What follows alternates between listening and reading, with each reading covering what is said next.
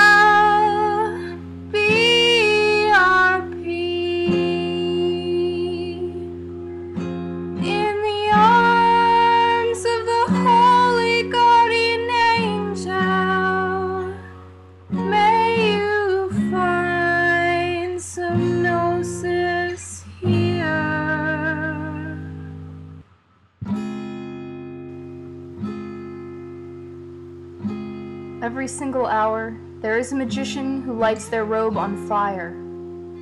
They suffer alone and terrified, waiting for someone to help. 3,000 magicians were rescued last year. For hundreds of others, help came too late. Hi, I'm Soror Samekh McLamed. Will you be a holy guardian angel for a helpless magician?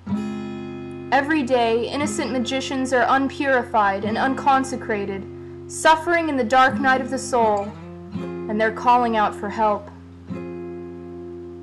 Please call 1 800 SAD MAGUS and help a lonely magician with a monthly gift now.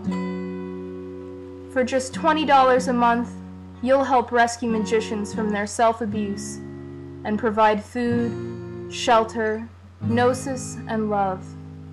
Call or join online in the next 30 minutes and you'll receive a welcome kit with a photo of a magician who is sheltering themselves in their mom's basement right now. One who will be given a second chance thanks to you.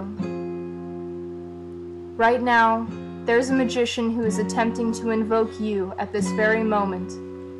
Your call says, I'm here to help. Become a holy guardian angel today.